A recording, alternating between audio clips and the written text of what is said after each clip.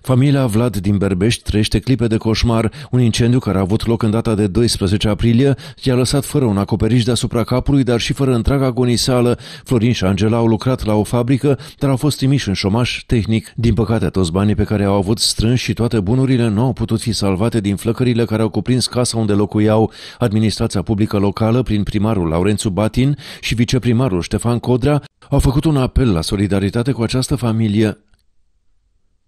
Dorim să ajutăm pe cei doi cetățeni ai comunei noastre prin această campanie de strângere de fonduri și vă rugăm să contribuiți fiecare după posibilități pentru a aduna o sumă de bani cu care să-și achiziționeze o locuință și a avea un adăpost unde să-și poată duce traiul decent. Ne gândim că săptămâna mare din postul Sfintelor Paști este o perioadă potrivită pentru a ne arăta smerenia și milostenia față de aproapele nostru și așa să sprijinim această familie greu încercată, scriu reprezentanții primăriei Giulești în anunțul umanitar.